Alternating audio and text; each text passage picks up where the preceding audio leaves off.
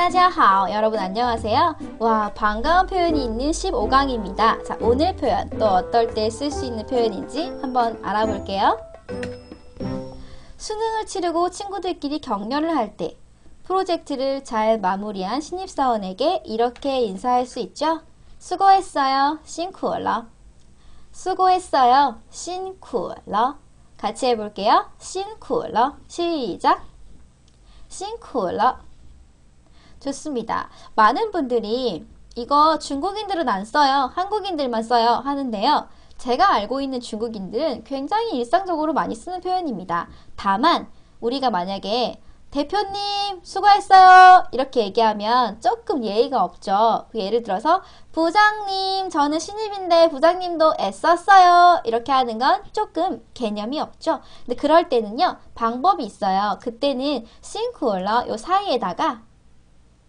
닌만 넣어주시면 그 무례한 느낌은 싹 지울 수 있어요.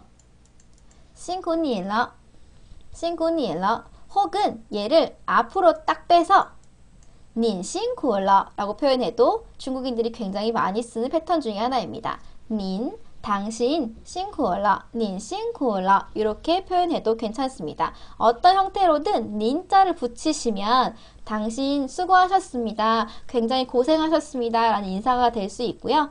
이게 아무래도 어 뭔가 애썼다라는 느낌을 지울 수가 없다면 그때는 수고했다 대신에 그냥 씨씨에 씨씨라고 인사할 수밖에 없잖아요.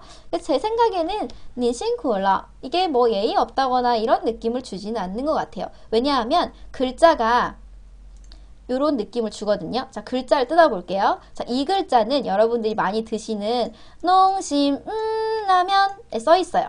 이렇게 농심 신라면에 써 있거든요. 매울 신자예요. 자, 맵고 구는요. 아주 쓴이란 뜻이에요.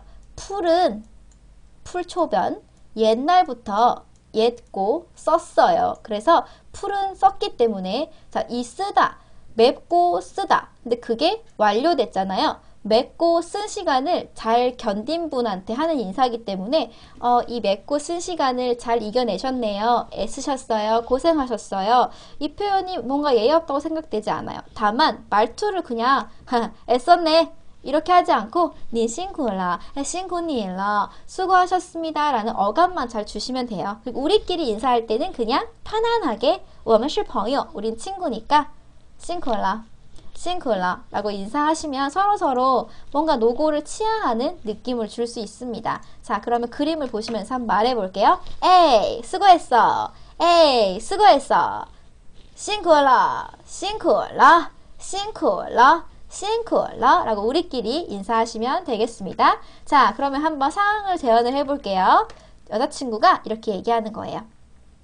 考试结束了。 아, 여자친구가 아니네요. 선생님이네요. 老师说 선생님이 얘기합니다. 老师说考试结束了.考试 시험이 结束 결속되다 그게 마치다 끝나다의 뜻이에요. 시마이 자, 考试结束了. 시험이 끝났습니다. 우리 시험에 응시하신 학생 여러분들辛苦了. 수고하셨습니다. 考试结束了.辛苦了. 그러면 학생은 공부는 못해도 인사성이 발라야 돼요. 인사해 볼게요. 谢谢老师,谢谢老师. 자, 시간이 끝났습니다. 시험이 끝났습니다. 考试结束了,辛苦了.谢谢老师 이렇게 인사하면 되고요. 지금 저희 같은 경우에는 수업이 끝났잖아요. 그러면 下课了. 수고하셨습니다. 辛苦了. 여러분은 저한테 谢谢페이, 페이야 고마워 이렇게 인사할 수 있겠죠? 下课了,辛苦了,下课了. 辛苦了. 자, 그러면 여러분들도 大家都辛苦了.我们明天见. 저희는 내일 또 뵙겠습니다.